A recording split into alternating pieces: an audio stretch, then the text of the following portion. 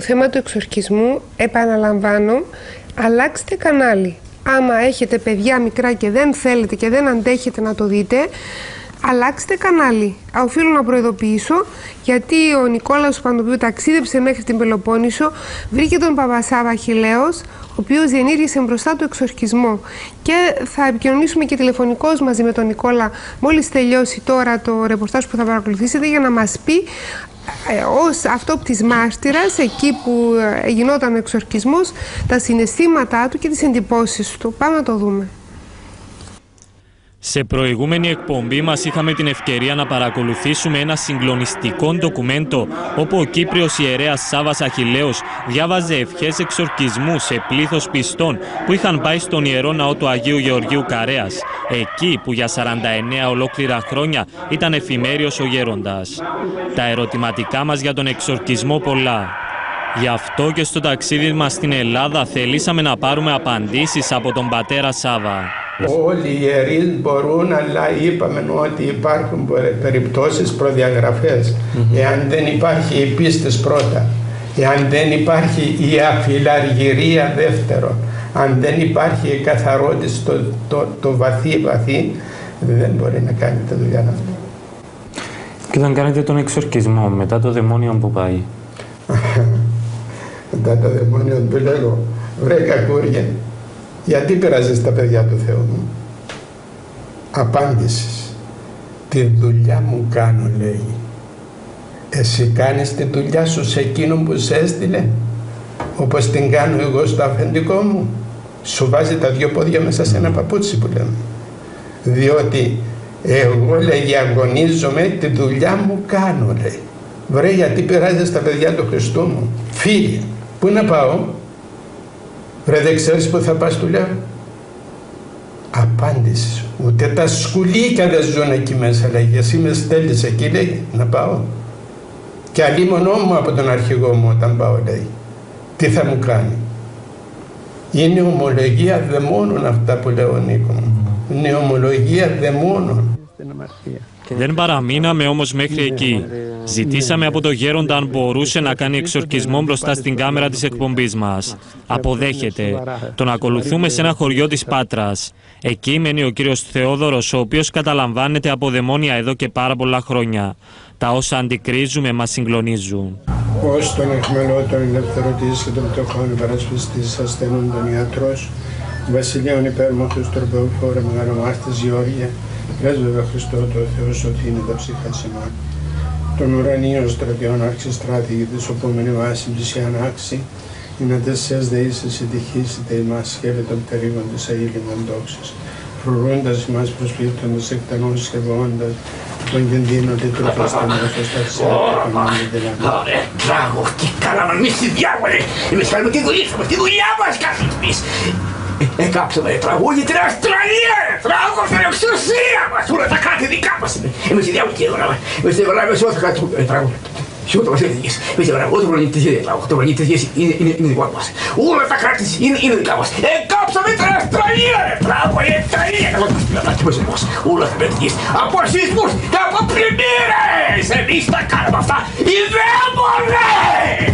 και από πλημμύρες, εμείς τα κάνουμε αυτά, οι δαίμονες. Στην εξουσία μας. Ολόκληρη Αυστραλία, ρε τράγω, έπιαμε, κάψαμε, η Αυστραλία, οι φίλοι μας το λέζει, για εστά.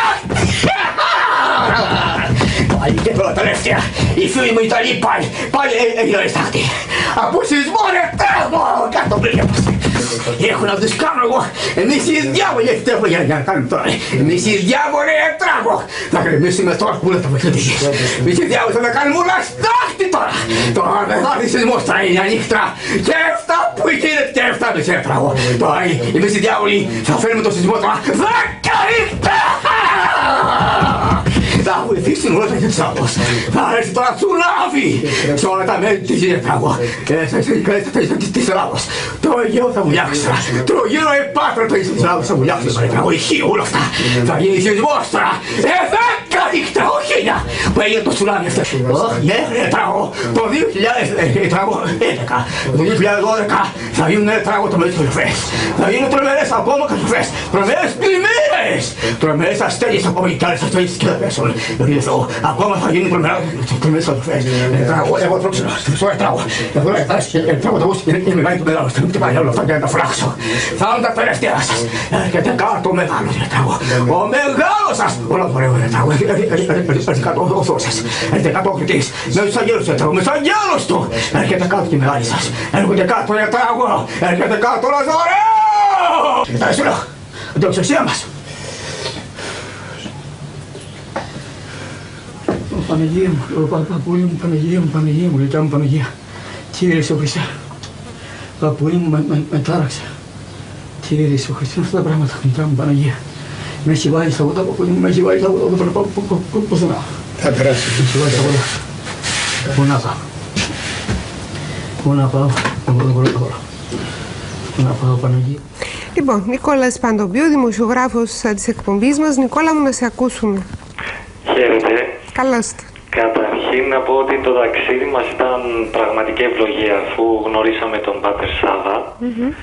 Ένας, θα μπορούσα να πω Άγιος Γέροντας, δηλαδή με αυτά που μας έχει πει τρεις ώρες κράτησε η συνέντευξη, είχαμε ακούσει πολλά, μας είπε πολλά, ξεκαθάρισε τι είναι ο εξορκισμός στα δαιμόνια ε, και ακολούθως πήγαμε και σε ένα χωριό στην Πάτρα, αυτό που είδατε τώρα, να συναντήσουμε τον κύριο Θεόδωρο. Και τον κύριο Θεόδωρο μας είχε πει ότι καταβάλλεται από δαιμόνια χρόνια τώρα. Ε, Γιατί δεν του φεύγαν τα δαιμόνια και άμα φύγουν, άμα γύρνει ο εξορκισμός δεν φεύγουν τα δαιμόνια και γιατί επανέρχονται, τι σας είπε; επιλέγει ο ίδιος, από ό,τι μας εξήγησε ο πατερ επιλέγει ο ίδιος, δηλαδή είναι σαν να προκαλεί ξανά τα δαιμόνια, δηλαδή γίνεται ο εξορκισμός, καθαρίζει, αλλά μετά επιλέγει πάλι ο ίδιος να μπουν τα δαιμόνια Να- μέσα να του. επιτρέψει να, να μπουν. επιτρέπει ο ίδιος ακριβώς. Νικόλα, εσύ ήσουν μπροστά στον εξορκισμό. Ε. Τι συναισθήματα ένιωσες; Ήταν κάτι πραγματικά συγκλονιστικό. Δηλαδή είχαμε παρακολουθήσει τον ντοκουμέντο που είχαμε δει σε παλαιότερη Ναι. εκπομπή, αλλά άλλο είναι να το βλέπεις από την τηλεόραση και άλλο είναι να είσαι εκεί. Που ήταν και η όθηση για να πας το Σάββατο στην Ακριβώς. Πελοπόννησο.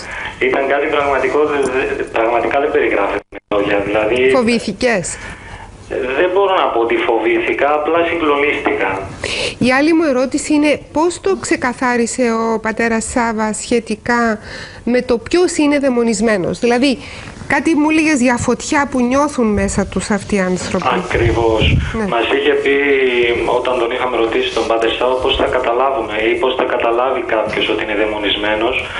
Μας είχε πει ότι ε, αν ε, κάποιος νιώθει ότι καίγεται μέσα του, ότι νιώθει ότι είναι συνέχεια άρρωστος, έχει πόνο κεφάλους, θέλει να κοιμάται, νιώθει, νιώθει περίεργα και πηγαίνει συνεχώς στους γιατρούς και ο γιατρός του λέει ότι δεν έχεις κάτι, δηλαδή είσαι υγιέστατος.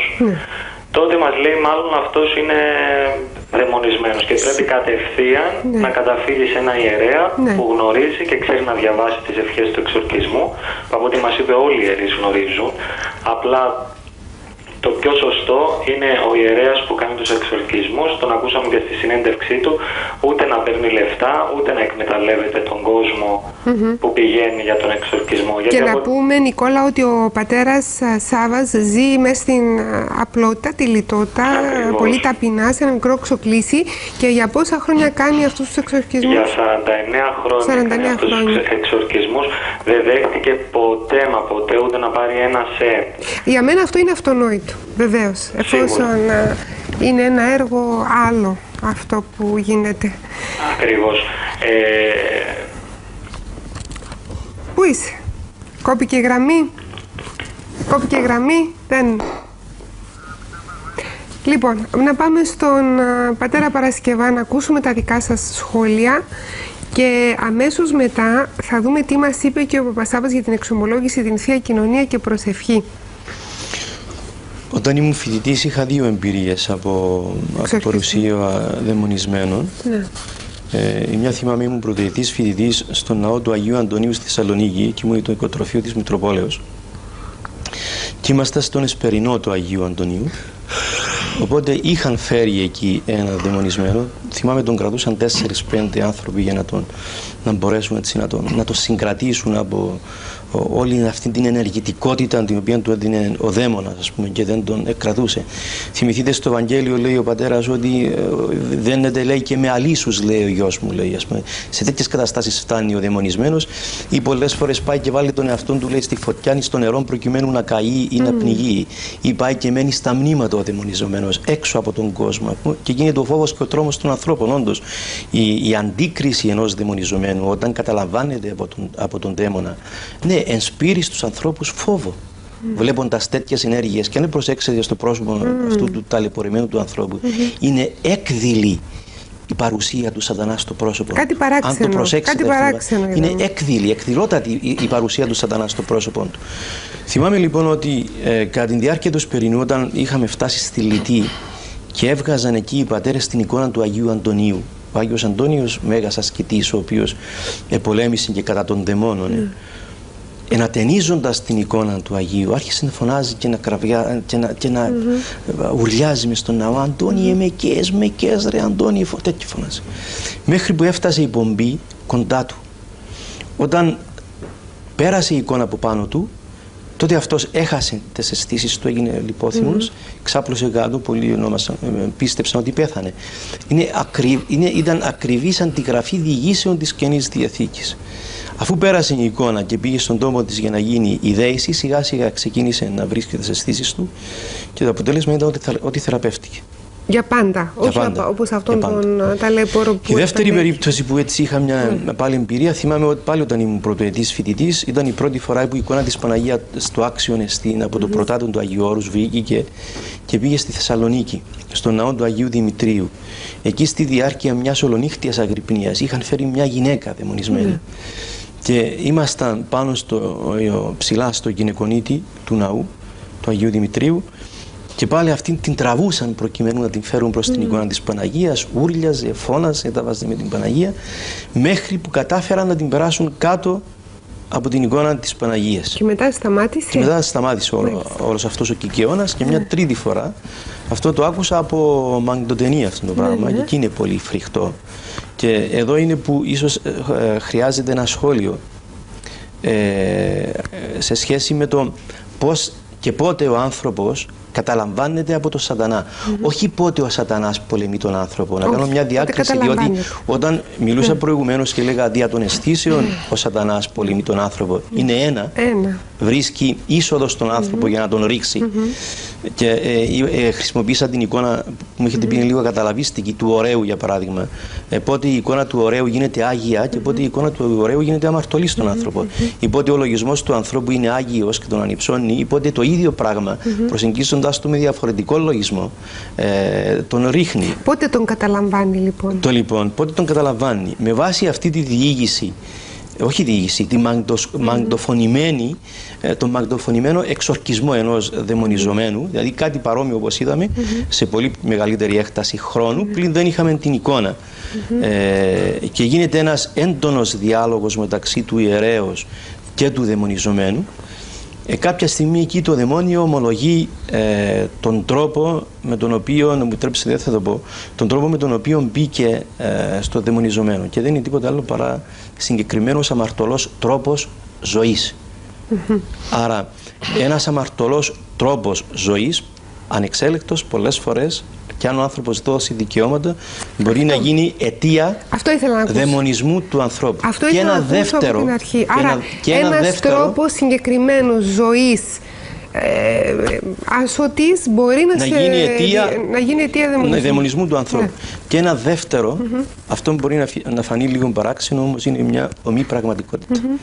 Όταν ο άνθρωπος πολλές φορές είναι υπόδουλος κατάρας όταν δηλαδή μας καταραστεί κάποιος και επειδή η κατάρα δεν είναι τίποτε άλλο παρά ενέργεια πάλι, επίνεια και ενέργεια του σατανά, τότε δένεται ο άνθρωπος με την κατάρα ο, καταραζό, ο Αυτός καταραστής, που καταράζεται. ναι, αυτός που καταράζεται δένεται πολλές φορές με την κατάρα και η κατάρα εκδηλώνεται ως δαιμονισμός, το αποτέλεσμα μάλλον της κατάρας Επιστρέφει σε αυτόν που την ε, εκ- εξέφρασε. είτε σε αυτόν που την εξέφρασε είτε σε αυτόν που, έχει, που που τον έχουν Αλλά καταραστεί. πάλι τον βρίσκει αδύναμο λόγω άσου της ζωής. Άμα κάνει πνευματική ζωή, δεν υπάρχει περίπτωση, μας είπατε. Ναι, ναι, αν ο άνθρωπος φρουρείται δια τη Φρουρείται, χάριτο του όπως είπε ο Θεού, κύριος Παπαγεωργίου, τότε, να τότε δεν έχει μπορεί να τον οχυρό. αγγίξει καν θανάσιμο. Α, Και ποιέται ουμή αποθανείται. ωραία. Ουμή Για να αποθανείται. μην Δηλαδή, φοβόμαστε. και αν, και αν είσαι αντικείμενο που πολυβολείσαι από κατάρες, εάν φρουρείσαι λόγω της ζωής σου από τη, χα- από τη χάρη του Θεού, Να δεν, μην μπορεί, φοβάσαι δεν μπορεί να τίποτα. σε αγγίξει κάτι. Η κατάρα όμως μπορεί να στραφεί σε αυτόν που την έβαλε Έτσι άκουσα. και α, να πατέρα δαιμονιστεί Παρασκευά. αυτός Ναι. ή καμιά φορά μπορεί να δαιμονιστούν τα παιδιά του, τα εγγόνια του Ναι. ή αν αυτός ο- τον οποίο καταραζόμαστε αν δεν είναι φρουρημένος από τη χάρη του Θεού τον υπάρχει το επηρεάσει. ενδεχόμενο να εξελιχθεί αυτή, αυτές οι κατάρες να απαντήσατε εξελιχθούν πλήρως. σε δαιμονική κατάσταση μέσα στον άνθρωπο. Τώρα το κατάλαβα.